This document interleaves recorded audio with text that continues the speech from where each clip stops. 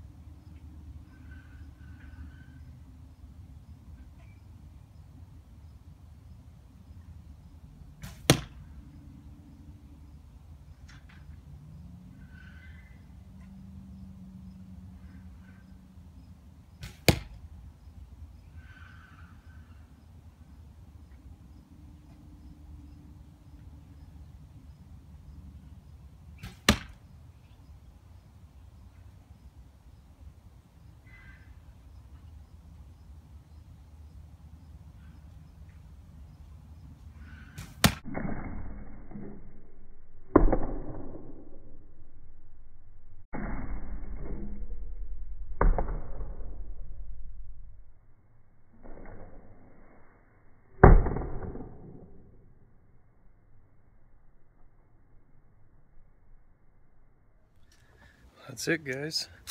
Get out, enjoy this beautiful weekend. Shoot straight.